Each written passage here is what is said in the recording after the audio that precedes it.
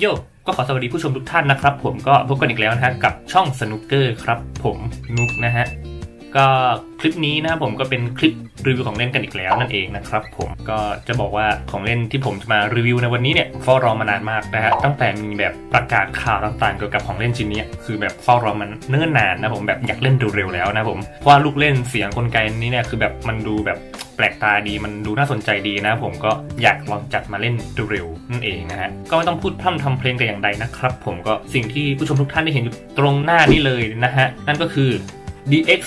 s a k i n g Sword Driver นั่นเองครับผมก็เป็นเข็มขัดแปลงร่างนะฮะของ Mask Rider คนล่าสุดจากประเทศญี่ปุ่น Mask Rider Saber นะฮะก็เป็นเข็มขัดแปลงร่างของพี่แกนั่นแหละนะครับผมคลิปก่อนหน้านี้ก็ผมก็ได้อ่ารีวิวกิมมิคไอเทมที่ใช้กับเข็มขัดเส้นนี้นะฮะไปประมาณ 2 คลิปแล้วนั่นเองนะครับผมก็ใครที่ยังไม่ได้ตาม หรือใครที่ยังไม่ได้ดูก็ไปชมกันได้นะฮะเดี๋ยวผมขึ้นลิงก์ไว้ให้ตรงตัวไอ้ด้านบนนั่นเองนะฮะก็จะบอกว่าเข็มขัดเส้นนี้เนี่ยจริงๆแล้วมันยังไม่ถึงวันวางขายเนาะ ก็วันที่กำหนดวางขายจริงๆอะมันคือเดือนหน้านะครับ ผมแต่ว่าผมก็อ่าเปิดโปรนิดๆหน่อยๆไม่ใช่นะฮะ ก็บังเอิญบังเอิญนะครับผมก็คือไปเจอมาจากร้านร้านหนึ่งในโอซาก้านั่นเองนะฮะ ผมได้มาอย่างใดนั้นก็อ่าเล่าดีไหมจะยาวไหมเนี่ย เดี๋ยวก็จะมาทำการแกะกล่องแล้วก็รีวิว กันให้ผู้ชมทุกท่านได้เห็นกันเลยแล้วกันนะครับผมกับ DX s e k i n g Sword Driver ครับผมก็โอเค อันดับแรกเรามาดูที่หน้ากล่องกันก่อนเลยนะฮะ หน้ากล่องก็จะประมาณนี้นะครับผมก็จะมีรูปของ Mask Rider Saber อยู่ตรงนี้นะฮะ จากนั้นก็จะเป็นตัว Driver กับตัวดาบนั่นเองนะครับผม ตรงนี้จะมีตัวอักษรที่มันเอาไว้ใช้ในเรื่องก็คือเป็นตัวอักษรของมันเองนะฮะ เขียนเอาไว้ว่า Kamen Rider Saber อะไรก็ว่ากันไปนะ ตรงนี้ก็ Kamen Rider Saber นี่ Henshin DX นะฮะ Seking Soul Driver ตราบันได นะฮะ Brave Dragon Wonder Ride Book นี่ก็คือหนังสือที่มันจะแถมมาให้ด้วยนั่นเองนะฮะ ก็เหมาะสำหรับเด็กอายุมากกว่า 3 ปีนะ ตรงนี้ก็จะมีโลโก้นะครับผมตรงนี้ก็จะเขียนว่า Hikaru Naru นะฮะ ก็มีแสงมีเสียงอะไรก็ว่ากันไปนะ ต่อไป นี่คือข้างกล่องนะฮะ อุ้ยด้านหลังมันอันนี้ นี่คือข้าง ถือเลยแล้วกัน นี่คือข้างกล่องนะครับผม ก็จะมีรูปของเซเบอร์ถือดาบอยู่ นี่ก็เป็นข้างกองอีกข้างหนึ่งซึ่งก็เป็นเซเบอร์ที่กำลังแอคอยู่อีกท่าหนึ่งนั่นเองนะครับผมตรงนี้ก็จะเป็นใต้กล่องนะฮะก็มีเขียนอะไรกำกับไว้กันไปเนาะซึ่ง ถ่านที่ตัว driver ใช้เนี่ยจะเป็นฐาน 3A ทั้งหมด 3 ก้อนนะครับผมแล้วก็ถ่านที่ตัว Wonder Ride Book ใช้เนี่ยจะเป็นฐาน LRCC ทั้งหมด 2 ก้อนนะครับผมต่อมาเราก็จะมาดูทางด้านบนนะครับผมตรงนี้ก็จะมีเขียนไว้ว่า 火炎剣を抜刀 นะฮะก็คือไอ้抜刀เนี่ยมันแปลว่าชักดาบหรือดึงดาบออกมานั่นเองนะครับผมแล้วก็火炎剣เนี่ยก็คือตัวดาบไฟของพระเอกอะก็คือไอ้ดาบเนี่ย火炎剣นะฮะแล้วก็บัตโตเสร็จปุ๊บมาตรงนี้นะฮะ เพจิระฮิราคินะฮะเฮนชินพอชักดาบเสร็จปุ๊บเนี่ยไอหน้าหนังสือเนี่ยมันก็จะเปิดแล้วก็เราจะเห็นชินแล้วก็จะแปลงร่างกันได้เลยนั่นเองนะครับผมโอเคนะ ตรงนี้ก็จะเป็นด้านหลังกล่องนะครับผมนะฮะตรงนี้ก็จะมีเขียนว่า Kamen Rider Saber Brave Dragon นี่ Henshin ก็แปลงร่างเป็นมัสเรเดอร์เซเบอร์ Brave Dragon นั่นเองนะครับผม ตรงนี้ก็จะมีเขียนวิธีการเล่นต่างๆเนาะโบตาโนโอสุเพจิโอฮิราคุเบรุโตนิเซตโตเคโงบัตโตเพจิกะฮิราคิเฮนชินนะฮะอะไรก็ว่ากันไปเนาะไรด้าคิกุฮิสซึวาสะนะครับผมก็ถ้าไม่ตายไรเดอร์คิกนั่นแหละนะครับเคโงบัตโตสเตฮิสซึวาสะวันดาไรบุกุโอรีโดสเตฮิสซึวาสะเพจิโอพุชสเตฮิสซึวาสะนะก็ทำไม่ตายต่างๆนานาของพี่แก คือเยอะมาก ตรงนี้ก็จะมีเขียนบอกว่าอ่าเบสซูริโนวันได้ไดบุกูเดพาวเวอร์อัพปุตรงนี้ก็จะมีบอกกันไปว่าใช้คู่กับหนังสือเล่มอื่นๆ ได้นะฮะ อะไรประมาณนั้นเบสซูริโนดูรักซูซูเซเคงนากาเรเอมเบรมแอนโดไรออนเซนคิวดาไดบุกูเดคาเมนไรดาเบลซูนิเฮนชินเดี๋ยววันวางขายจริงๆนะไอตัวเอมเบรมเนี่ยเดี๋ยวมันก็ออกวางขายนั่นเองนะครับผมก็เดี๋ยวรอกันต่อไปนะฮะถ้ามันวางขายปุ๊บก็จะซื้อมารีวิวให้อย่างแน่นอนเบสซูริโนดีลักซูโซดไรบาฮิสซึโฮรุดาเดฮิสซึวาสะใช้ทำให้ตายด้วยอ่าไอตัวไอตัวที่เหน็บดาบนี้เนี่ยนะฮะก็คือ Swordriver Holder นะครับผมมันก็ท่าไม้ตายมี 1 2 3 4 5นะฮะมีวิธีการใช้ท่าไม้ตายประมาณ 5 ขั้นตอนไปแล้วเนาะก็แบบเยอะไปไหนอะเออนะก็โอเคนะ เดี๋ยวลองไปแกะกล่องกันเลยแล้วกันเนาะนะฮะก็โอเค จัดไปจ้า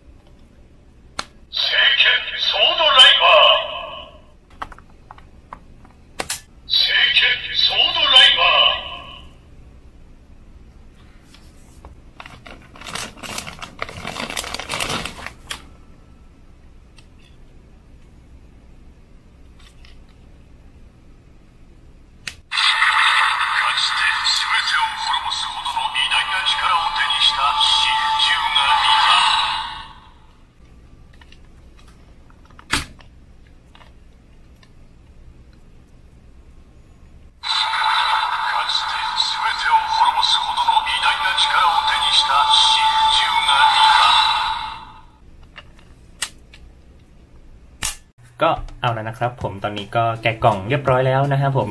ซึ่งนี่ก็คือตัว s e k e n Sauce Driver นั่นเองครับผมนะฮะตัวเข็มขัดแปลงร่าง เอาเอาตรงๆเลยคือสวยอยู่นะ สวยมากนะครับผมคือเป็นขอบทองสวยมากระยิบระยับเลยนะครับผมตรงนี้และเมื่อสังเกตดีๆนะฮะไอ้ตรงนี้เนี่ยมันจะมีตัวหนังสือนะครับผมตัวหนังสือของมันเองนะฮะสลักเอาไว้อยู่ตรงนี้ด้วยนะครับผมความหมายคร่าวๆของตัวหนังสือพวกนี้เนี่ยมันจะแปลว่าเซตหนังสือลงไปในช่องพวกนี้ แล้วก็ดึงดาบศักดิ์สิทธิ์นี่ออกมานะครับผมตัวเข็มขัดเนี่ยผมว่าเอาจริงๆนะคือส่วนตัวผมว่ามันเล็กมาก ตั้งแต่ไก่มูมาคือหัวเข็มขัดของไรเดอร์พระเอกอะมันก็ไม่เชิงว่าเล็กอะมันใหญ่ประมาณหนึ่งนะครับผมมันใหญ่แล้วก็มันแบบมันดูเทอะทะเออเอาจริงๆนะแต่สำหรับตัว s e k i n g Sauce Driver นะครับผมสำหรับตัวของ Saber เนี่ย ผมว่ามันเล็กมันประมาณแบบไม่ได้สัมผัสแบบเข็มขัดในระดับนี้มานานแล้วอะทั้งความหนานะฮะความหนาแล้วก็ความเล็กของมันทั้งน้ำหนักต่างๆ คือมันทำออกมาได้แบบกระชับมันสมูทถ้าผมเทียบคือมันเล็กกว่า Build Diver แต่ไม่ได้เล็กเท่าของ o s Driver นะครับผมมันอยู่ในกลางๆระหว่างของ o s กับของ Build นะฮะความความใหญ่ของมันนะมันประมาณนั้นเลยนะครับผม แล้วก็แน่นอนว่าตัวกลไกทั้งหมดของมันจะอยู่ที่ดาบนะฮะดาบตรงนี้ ซึ่งดาบจะใช้ระบบสแกนนะครับผม ซึ่งตัวสแกนเนี่ยมันจะอยู่ตรงนี้ ซึ่งถามว่ามันเอาไว้สแกนอะไร มันเอาไว้สแกนกับไอ้เครื่องหมายตรงนี้ของ Wonder l a b o o k ซึ่งเขาเรียกว่า read mark นะครับผม read mark กับ read mark เมื่อเอามาชนกัน มันก็จะสแกนเพื่อก่อเกิดเป็นเสียงนะครับผม ส่วนตัวเข็มขัดนะครับผม เอาจริง ๆ คือกลวงมาก กลวงแบบสุดๆนะครับผม อารมณ์แบบ post driver อะ คือลูกเล่นกลไกมันอยู่ที่ดาบนะฮะเปรียบดาบเป็นโอสแกนเนอร์ ส่วนตัวเข็มขัดมีไว้แค่เซต เซตหนังสือเข้าไปในช่องกับเสียบดาบเข้าไปอย่างเดียว เป็นที่พักดาบเฉยๆ เอาเอาว่าง่ายๆนะส่วนตัวสายเข็มขัดนะครับผมสำหรับใครที่มองดูว่าทำไมตัวสายเข็มขัดมันดูคุ้นตาอะไรประมาณนั้นเนาะนะคุณคิดถูกแล้วครับผมตัวสายเข็มขัดนี้มันมาจาก Gamer Driver นั่นเองนะครับผม Gamer Driver ย้อมแมวนะฮะเอามาย้อมเป็นสีแดง แม้ว่าจะขึ้นมาอยู่ยุคเรวะแล้วนะแต่การใช้สายเข็มขัดแบบย้อมแมวก็ยังคงมีอยู่นะครับผม จริงๆก็มันก็สวยอยู่ในระดับหนึ่งนะครับผมก็ให้อภัยไม่เป็นไรนะครับผม เราจะมาดูที่ดาบต่อนะฮะจริง ๆ แล้วตรงนี้ถอดออกได้นะครับผม มันเขาเรียกว่า emblem นะครับผมก็คือตราสัญลักษณ์อะเออสแกนว่ามันเป็นดาบอะไร ซึ่งก็นี่คือ emblem ของดาบไฟนะครับผมเมื่อสแกนปุ๊บตัวดาบมันก็จะพูดชื่อของดาบนี้คาเอ็นเคนเล็กกะนะครับผมมันก็จะกลายเป็นดาบไฟทันที แล้วเราก็เอาตัว emblem นี่แหละมาติดเข้าตรงนี้บ่งบอกให้รู้ว่ามันเป็นดาบอะไรเฉยๆเนาะเดี๋ยวลองเปิดเล่นดูก่อนแล้วกันเนาะเนี่ยอันนี้คือดาบเปล่าเนาะอันนี้คือยังเป็นดาบเปล่าเอา emblem นี้มาสแกนครับ เอนเคนเรกะนะครับผมจับสแกนเสร็จปุ๊บก็เอามาแปะตรงนี้เลยนะส่วนนี้ก็คือ Wonder r i Book ที่เขาแถมมาให้กับเข็มขัดนั่นก็คือ Wonder Ride Book Brave Dragon นั่นเองครับผมนะฮะจิ้มไปทีหนึ่งหน้าเสียงใช้ได้ และเมื่อเราทำการเปิดมาอึ๊บอ่า นี่นะครับผมนี่ก็คือรูป artwork ข้างในของ Wonder r i Book นั่นเองนะฮะก็จะเห็นเป็นมังกรนะครับผมมังกรหรือตะขาบไฟไม่รู้ว่าเออนะส่วนด้านซ้ายก็จะเป็นคำนำนะครับผมหรือจบบุญนั่นเองนะฮะซึ่งไอ้หน้าจบบุญเนี่ยมันสลักเหมือนกันเลยนะครับผมสองเล่มนี้คือสลักเหมือนกันเลยอารมณ์แบบแพทเทิร์นเดียวกันอะก็เดี๋ยวผมขึ้นซับไว้ให้แล้วกันเนาะว่าความหมายของไอ้ตรงสลักเนี้ยมันคืออะไรนะครับผมก็โอเคนะอะแล้วก็จะบอกถึงข้อเสียหลักๆ ของตัว s e k i n g Source Driver นะครับผมก็คือไอ้ ช่องใส่หนังสือ 3 ช่องเนี่ย เห็นไหมเออ จะบอกว่ามันแคบมากนะฮะ แคบจริง ๆ นะฮะ แบบบันไดเขาแบบสร้างช่องมาให้แบบพอดีกับหนังสือเกินไปอะ เออ แล้วพอเวลาจะยัดใส่อะคือมันคับและแน่นมากนะฮะ คือตอนใส่อะมันไม่ได้สมูทแบบเข็มขัดที่ใช้ลูกเล่นเสียบแบบ Build Diver หรือ o s Driver หรืออ่า Double Diver เนาะ คือ เนี่ย มันต้องใช้แรงกดนะครับผม แบบเนี้ย เนี่ย คือกว่าจะเสียบเข้าไปได้คือ ยากมากนะฮะ เอาอีกเมมหนึ่งนะ เห็นไหมเนี่ยคือมันไม่ได้ใส่แบบปึ๊บ มันไม่ได้ติดตั้งแบบฟึบแบบ smooth อะไรขนาดนั้นอะคือมันแน่น แน่นเอียดเลย คือมันแน่นก็ดีอะมันจะได้ไม่แบบหลุดง่าย หลุดออกง่ายนะผม แต่ตอนเสียบอะคือตอนเสียบเวลาจะเล่นเนี่ย คือมันไม่ smooth ไง เออ คืออารมณ์มันไม่ได้อะเข้าใจไหมคือแบบจะเสียบปุ๊บ คือมันต้องมากึก มันต้องมาติดตรงปากช่องเนี่ย กว่าจะกดลงไปได้แต่ละทีอะเออนั่นแหละนะฮะ ก็ถือว่าเป็นข้อเสียอย่างหนึ่งของตัว s e k i n g Source Driver เนาะนะครับผม และนี่คือสิ่งที่เขาแถมมาให้นะครับผมตอนที่ผมซื้อไอตัวนี้มาจากร้านเนาะนั่นก็คือ Zero One Wonder r i Book นั่นเองครับผมก็โอเคนะ เดี๋ยวลองแกะให้ดูเลยแล้วกันเนาะนะฮะหนังสือเล่มสีขาว ตรงนี้มีบาร์โค้ดมาให้ด้วยนะฮะนี่ครับผม Zero One Wonder Ride Book ครับ นี่เปิดมา และจะบอกว่ามันคือคุณภาพระดับงาน SG หรืองาน candy toy นั่นเองนะครับผมนะฮะคือตรงนี้เห็นชัดเจนมาก ไม่มีกลไกใดๆเลยทั้งสิ้นนะ งานระดับ candy toy นะผมแต่เราไม่ได้เป็นคนติดสติกเกอร์เองนะผมเขาแบบสกรีนมาให้เรียบร้อยเลยนะผม ตรงนี้มีสติกเกอร์ของลิทมาแปะโง่ๆอีกเช่นเคยนะฮะไม่มีหน้า story นะ ไม่มีหน้า story เปิดมาก็คือจะเป็นหน้านี้เลยนะฮะมีอีซุอยู่ตรงนี้ด้วยนะฮะผม ค่อยมารีวิวกันอีกทีแล้วกันเนาะก็เดี๋ยวก็จะไปลองเล่นเข็มขัดให้ดูกันเลยแล้วกันเนาะก็ก่อนที่จะไปดูเนาะก็ฝากกดไลค์กดแชร์แล้วก็กด subscribe นะครับผมเพื่อเป็นกำลังใจในการทำคลิปใหม่ๆต่อไปของผมด้วยนะครับผมโอเค ไปกันเลยจ้าวาร์ปฟิ้วเราจะมาเริ่มแปลงร่างเป็น Masked Rider Saber ร่าง Brave Dragon ก่อนเลยแล้วกันนะครับผม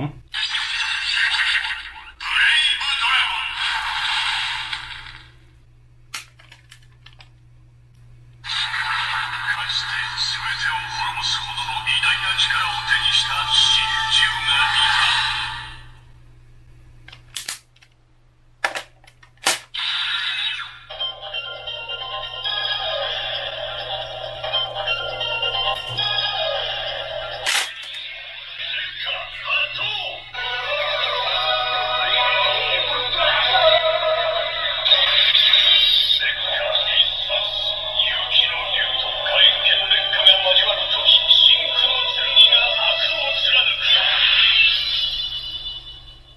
เมื่อเราชักดาบเสร็จเนาะหน้าหนังสือตรงนี้ก็จะเปิดมาให้อัตโนมัติเลยนะครับผม และเมื่อเราเหนี่ยวไกลตรงดาบนะฮะนี่จะเป็นเสียงฟันนะครับผม ต่อมาจะมาเล่นเสียงท่าไม่ตายกันเลยนะครับผม ซึ่งท่าไม่ตายเนี่ยแบ่งออกเป็นหลักๆอยู่ 3 อย่างเนาะนะครับผม อย่างแรกก็คือไรเดอร์คิกทั่วไปนะครับผม อย่างที่ 2 ก็เป็นชักดาบออกมาแล้วก็ทำให้ตาย อย่างที่ 3 ก็ใช้หนังสือสแกนแล้วเป็นท่าไม่ตายนะครับผมก็โอเคนะฮะไปทีละอย่างเนาะจัดไป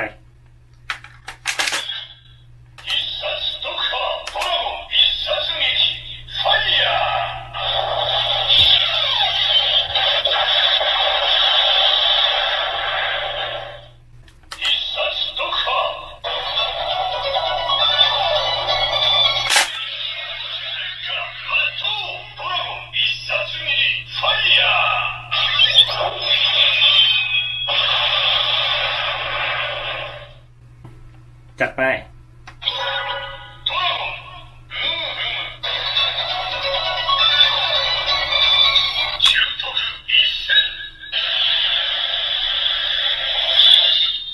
ตะกี้หนึ่งครั้งเนาะ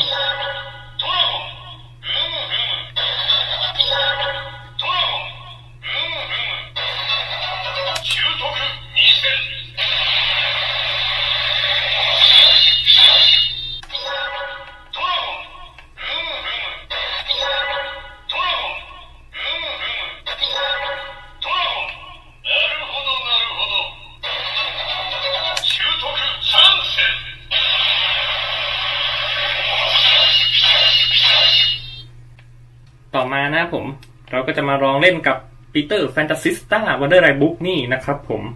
โอเค ลองดูนะ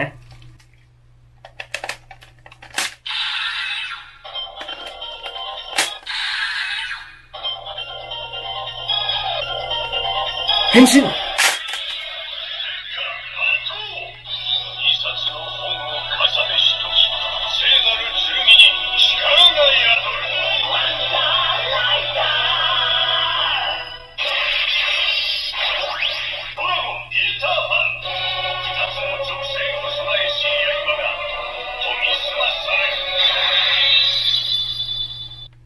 ลั่นสองที่แล้วเดอร์คิก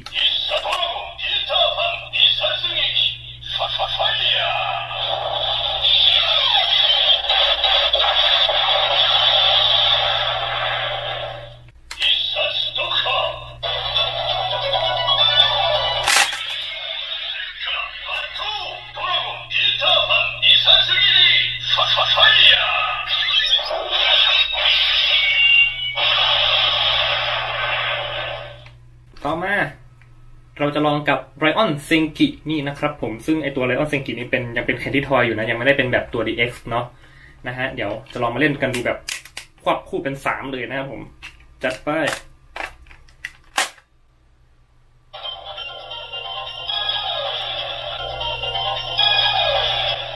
ดึงดาบ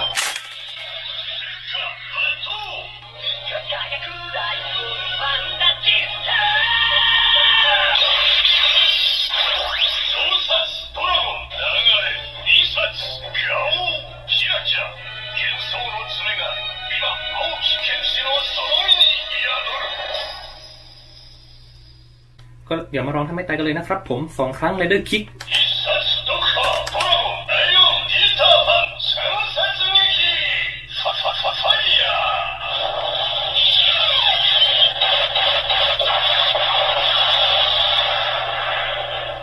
ต่อมา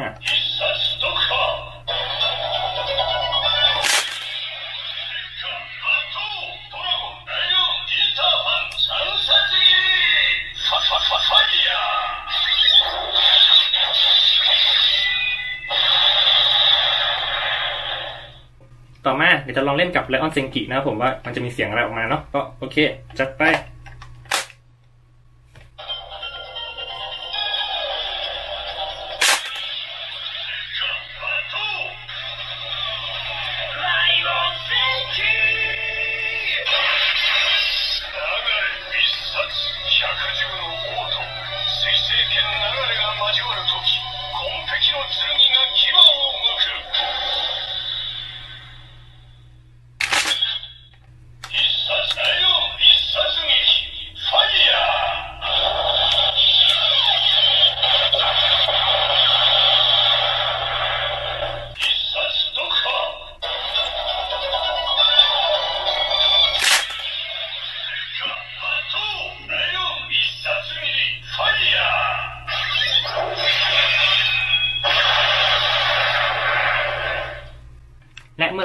เราลองสแกนหนังสือนะฮะ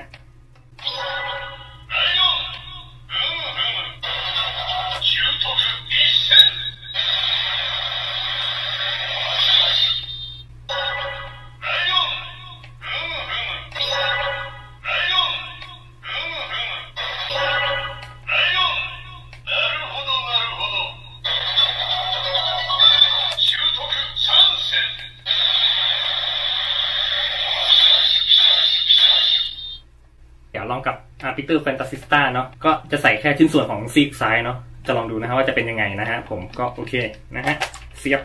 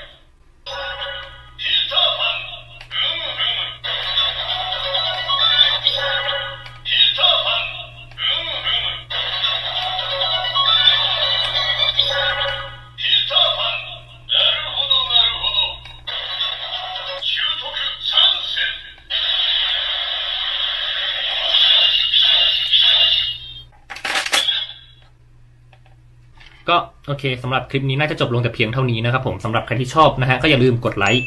กดแชร์แล้วก็กด subscribe ด้วยนะครับผมเพื่อเป็นกำลังใจในการทำคลิปใหม่ๆของผมเนาะนะฮะก็อ่าโอเค น่าจะหมดจริงๆแล้วล่ะ ก็เอาไว้เจอกันใหม่ในคลิปหน้านะครับ ผมก็โอเค เจอกันจ้า